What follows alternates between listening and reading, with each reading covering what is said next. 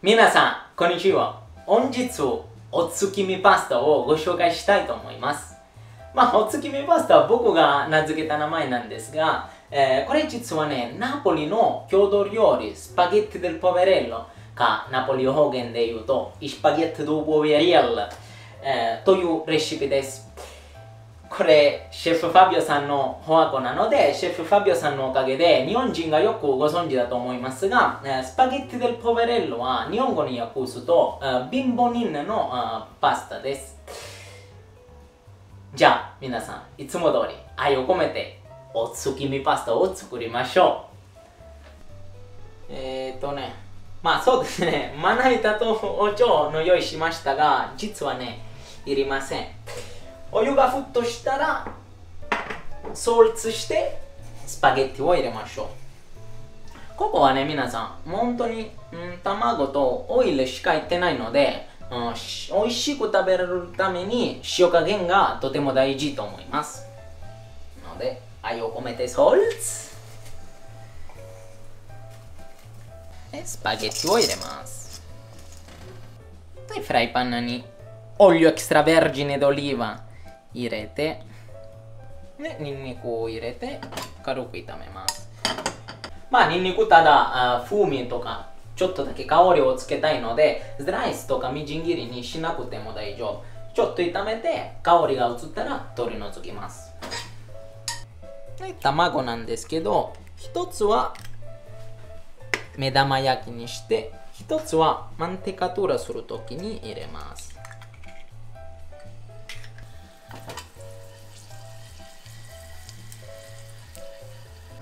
場所がないのですいません。ちょっとこれをずらして目玉焼きお月見のセットします。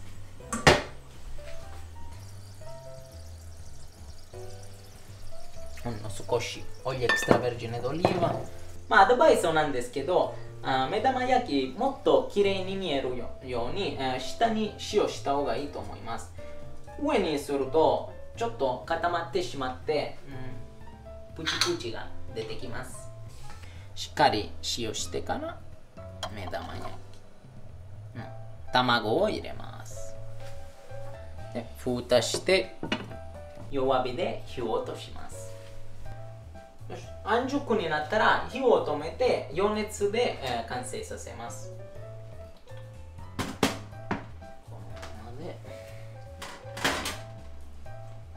ニンニクの香りも移ってるのでニンニクを取り出して茹で汁を足します。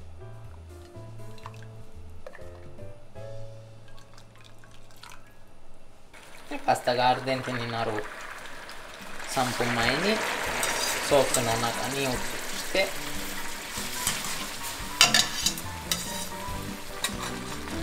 で塩加減のチェックしましょう。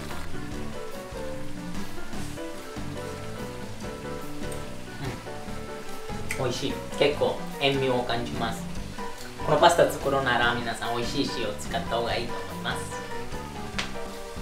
まあ皆さん結構面白いことにこのビンボニンのパスタ日本では結構人気なんですがイタリアではなかなか知らないね、うん、僕、えー、1年ナポリで働いてたんですけど、うん、1回も聞いたことないし、お店に行ってもなかなかメニューに掲載してない。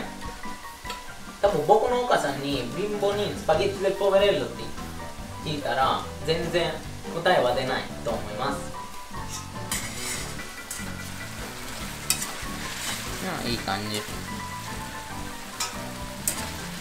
よし皆さんカキオに入ります。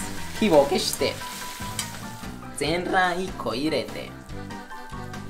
で皆さん、カルボナーラではないので、ある程度、卵白固まっても失敗ではない。失敗ではないというか、固まらなければならない。で、卵をほぐして、もちろん、いつも通り愛を込めて、 mantecatura しましょう。 mantecatura、mantecatura、mantecatura、mantecatura。ああ、いい感じ。よし、盛り付けしましょう。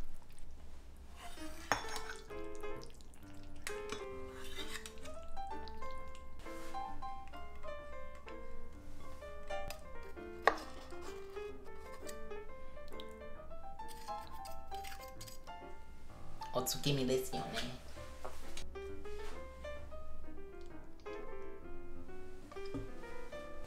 拙者辛いものが好きでござるのでアレンジとしてちょっと一味をかけます。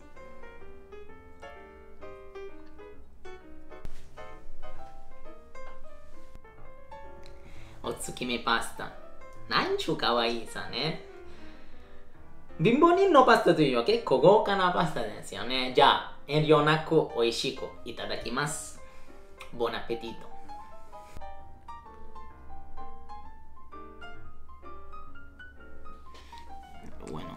焼き軽くほぐして。あいいね。